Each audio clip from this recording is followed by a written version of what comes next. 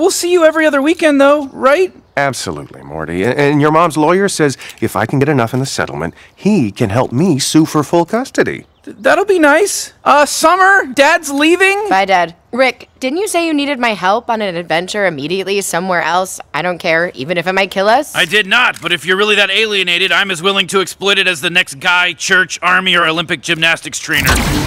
I'm ready when you are. Bitch, I was ready yesterday. Bye, sweetie. Well, I, I better. Sure, sounds important. If you're looking for our kids, your father did a, a portal. Uh, Okay.